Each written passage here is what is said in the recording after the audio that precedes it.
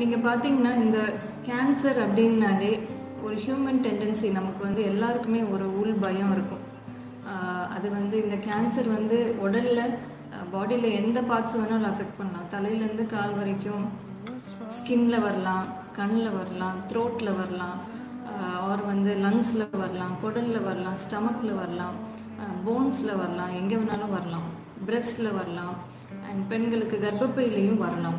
So இந்த கர்ப்பப்பையோட வாய் தட் இஸ் சர்விக்ஸ் அப்படின்னு சொல்கிறது தான் இந்த சர்விக்ஸில் வர புற்றுநோய் பற்றி தான் நம்ம இன்றைக்கி டிஸ்கஸ் பண்ண போகிறோம் மெயினாக இன்னொன்று புரிஞ்சுக்க வேண்டியது என்னென்னா ஒரு கேன்சர் வந்த டிஷ்யூக்கும் நார்மல் டிஷ்யூக்கும் என்ன வித்தியாசம்?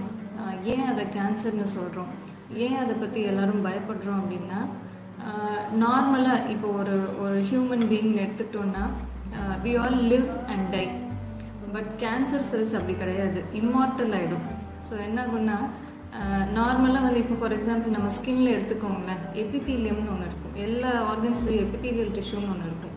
இதில் இருக்க செல்ஸ் வந்து தினம் தினம் ஃபா புதுசாக ஃபார்ம் ஆகும்.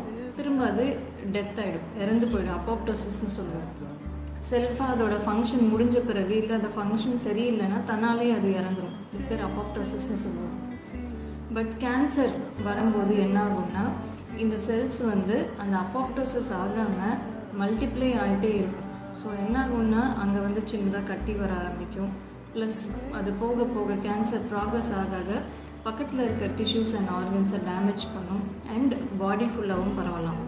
ஸோ இந்த லேட் ஸ்டேஜஸ் ஆஃப் கேன்சர் அது எங்கே இருக்கட்டும் பிரெஸ்டில் இருக்கட்டும் இல்லை வந்து சர்விக்ஸில் இருக்கட்டும் எங்கே இருந்தாலுமே வந்து இது நம்மளை வந்து அதிக லெவலில் அது வந்து நமக்கு தொந்தரவு கொடுக்கும். இதை நம்ம லேட் ஸ்டேஜஸில் கண்டுபிடிக்கும் போது.